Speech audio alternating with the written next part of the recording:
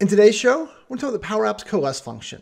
This should be a pretty quick video because I'm trying to slowly incorporate all the functions into a video, and this is one of the ones that I very rarely use, but I want to make sure you guys understood how it works, what you use it for, it does have some cool uses.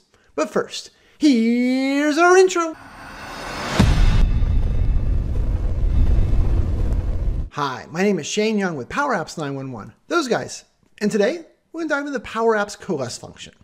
And all this crazy little function does is it returns the first non-blank or empty string from a series of inputs you give it, which sounds really scary and complicated. And I'm not gonna lie, I didn't know this function did for like the first two years that I used Power Apps. But I started using it and I realized that it's got some really helpful places. So I wanna make this really quick video just to introduce you guys to how it works. So let's just switch over to my desktop and take a look. Okay, so over here on my desktop, we're just gonna add a couple quick little pieces. The first one we're going to add is a text input. And then we're going to add a label. And so if you watched one of my recent videos, we talked about formatting currency, right? And so we ended up doing something like this. We said text and then value and then text input one dot text. And then we formatted it like so. Doom, doom, doom, doom, doom, doom. Like that, right? And that was our formula. And so then if we went up here and we had this blank and we set this to 12, it would show us $12, right? If we did 12.35 or whatever that is, it formats, right? So we are doing currency. But someone pushed back and said, but Shane, when this is completely blank, I don't see anything. And I want to see uh, something. I'm like, ah, makes sense.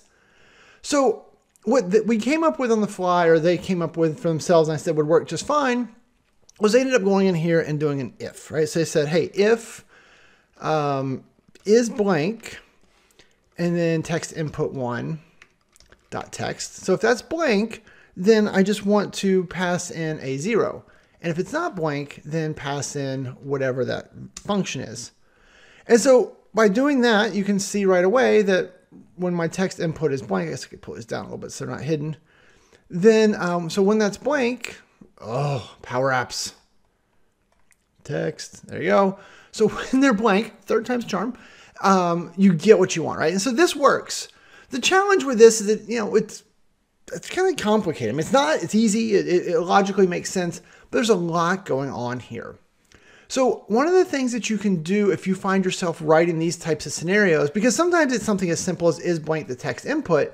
Other times though, you might be like is blank, and then you went and looked up some data, right? And so you're like, oh, if that's blank, then use something else. If not, then look up the data again, right? So you're making duplicate calls and you can get yourself in these scenarios where you do a lot of extra work.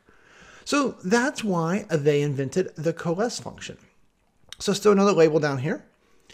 So the coalesce function, which, you know, is really weird, it always makes me feel like, you know, like I'm trying to like talk someone into something. I'm coalescing them, right? Because that's what you're doing. You're coalescing the value. You're, you're massaging it. Um, but so here, what it does is it's going to return the first non-blank or empty string value. So like if I pass it in coalesce and then I give it, you know, that, which is an empty string, and then something like this, hi Chewy, what you're going to see is that it returns hi Chewy. So this works great in scenarios where you don't want to have blanks incorporated. Because instead of right here where I just did, you know, hard coded it so you could see it, we could do something like this, text input one, dot text. And so as long as the text input is blank, it says hi Chewy. But if we go up here and say hi mom, then it switches to hi mom, right? Because when it evaluates this, it's like, hey, is this thing blank or empty? It's not. Let me show you that. Oh, it is blank or empty? Then let me show you that. And I want you to keep in mind that we can make this is you can have as many inputs as you want. Maybe not as many, but I mean, you can have multiple. So we got text input two here. So we could change this to be, hey, if text input 2 is empty or is, has data, show it. If not, then check to see if text input 2 has text. And if not, finally say show hi Chewy. And so right now it shows hi mom, but if we clear out text input 1, it now shows text input. We clear out that, it says hi Chewy. We go back here and be like, first one, and then now it shows again. So it is literally just going to show you the first field uh, or is going to return the first one that is blank or not blank. So you always want to make sure this last one down here is not going to be blank. That's like your catch-all. And one of the things I should have mentioned in the intro, but for you guys watching, you get to find out, this same function exists in Power Automate flow expressions. And so we use that a lot over there because if you ever worked with Flow, you know Flow gets real grumpy if you pass it an empty string when it expects a string. So this is how we do a lot of that type of catching inside of Flow. But this is not about Flow, but just bonus temp. Okay, so now that you've kind of seen how that works, if we go back to our original example, so we know that this is a valid formula, but what we could have done here is we could have just got rid of this whole if thing and just said coalesce and then um, value text input, right? So, but if that comes back as blank, then coalesce in a zero. And so now we get the same effect if we put 55, 55 in here. It works, right? It gets formatted as currency.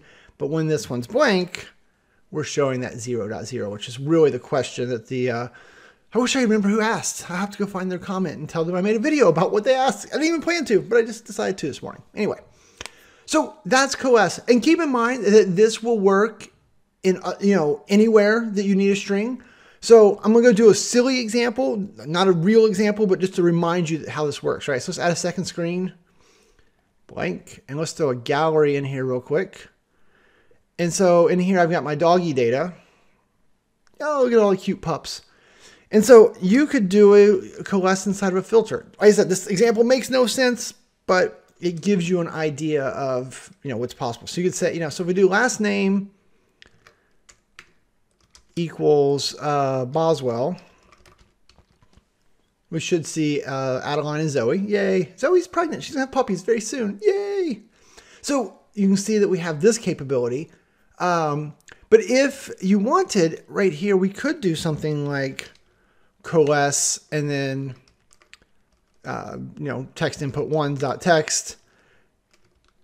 And then if that's not there, then hard code them all to be young, which is Chewy. And so coalesce would work inside filters, would still be delegable because Power Apps is just passing whatever value. And so now if like if we go back over here and text input one and we put in um, uh, who else? Uh, we'll just do Boswell again. No, we'll do Peter. That's the other one I was trying to think of. There we go. And so if we go back over here, now you see Max and Reese because those are the two Peter family dogs. So coalesce can be used a lot of clever ways. I don't know why you would do it that way, but it's one of those functions I don't use very often, but when I do need it, it saves my bacon. So there you go. So now you guys know about it. And that's it. Just a quick little function video, hopefully help you add something else to your toolbox, plant that little seed.